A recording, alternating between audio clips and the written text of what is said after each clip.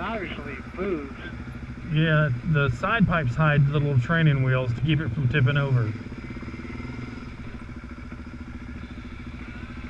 All right, what are we doing? I wonder what kind of engine's in it.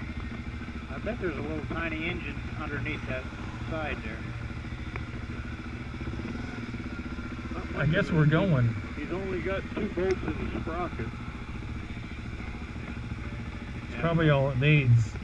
Somebody tells me, uh, something tells me you don't drive it. All right, you got it? Got your picture? I GoPro'd it.